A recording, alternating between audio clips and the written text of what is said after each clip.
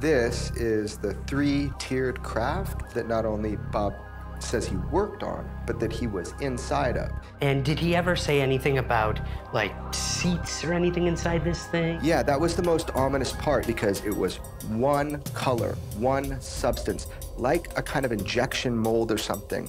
And the chairs or the seats were the size for children, not for full adults. And that's when it really dawned on him. This wasn't made by or for us.